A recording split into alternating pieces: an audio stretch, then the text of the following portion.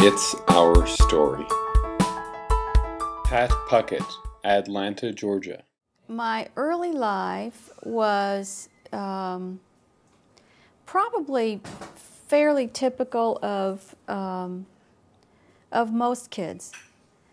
I had polio when I was two. I spent four months in a um, what actually was a TB sanatorium that had been converted to a children's hospital because of the polio epidemic. The 1952 was one of the last major polio epidemics in the country, I think. And so I was taken care of by um, Catholic nuns in this um, hospital, St. John's Hospital for crippled children is what it was then.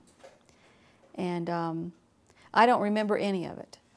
My earliest memory that has anything to do with disability was when I was probably three, maybe four, when the, my mom would get the other kids off to school. She would um, put me on the kitchen table and we would do physical therapy. And so my earliest memory is her trying to find me. Like I would crawl under the bed and hide, and I would get in the closet you know, and put cover, put put quilts and stuff over me so she couldn't see me.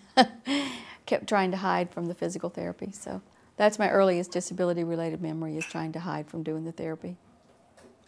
The It's Our Story project is a national effort to make disability history public and accessible. Visit us at www.itsourstory.org or on the It's Our Story project YouTube channel.